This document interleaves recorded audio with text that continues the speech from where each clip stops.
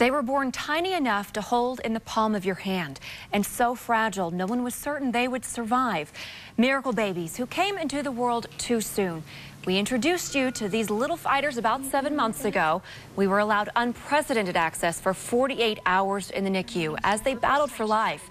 Tonight, ABC4's Barb Smith shows us what became of the smallest among them. Mom, they're all curled up. Brinley Mason, born at one pound, seven ounces, just slightly larger than a can of Coke. A precious life, desperately wanted, with a future too fragile to predict. As technology is changing and our abilities change, we've been able to do more and more. Um, and that in its own right is a gift, but it's not a guarantee.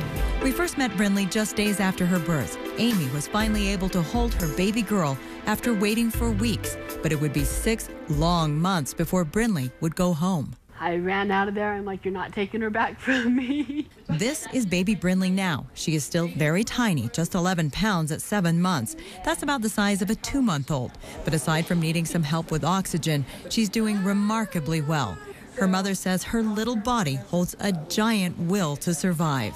Every time I look at her, I just keep picturing how she looked, how small she was, and how big she's gotten, and what a good job she's doing and it just amazes me. Brinley's uphill battle is not uncommon. She was born at just 27 weeks.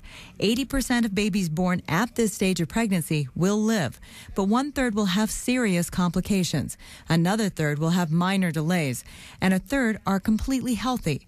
The NICU team prepares parents for the worst while hoping for the best. We don't know who's going to be in which third. They're precious and a valuable life, and each baby deserves a chance. Annalise Tusher is another baby given a chance. We also met her in our 48 hours in NICU. She came into the world at just over two pounds. And at eight months, her mother Mandy admits she also looks more like a two month old. We walk through the mall and people are like, oh, your newborn is so cute. And then she looks up and says hi. Despite breastfeeding, special formulas, and expensive supplements, she isn't growing as fast as her parents or her pediatrician would like. I resigned from my position and am going to give it the best effort to try and fatten her up a little bit. but despite these individual struggles, these baby girls are considered tiny miracles. There are moments, Jason, my husband, and I still wonder how it's possible. And they are grateful to the team in NICU, who are equally thankful for stories like these. There's no better gift. It makes you want to come back into work the next day.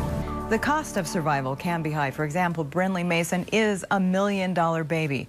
But her parents say, how can you put a price on life? Reporting from NICU, Barb Smith, ABC4 News. How amazing. We should note that all of the babies we followed during our time in NICU survived and are thriving.